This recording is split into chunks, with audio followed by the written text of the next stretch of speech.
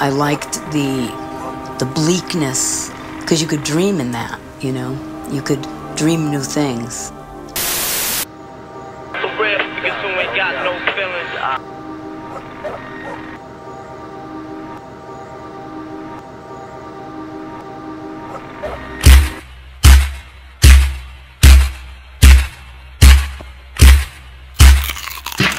I think I think violence is part of youth, and uh, think when I was young, I was a little more violent than I am now.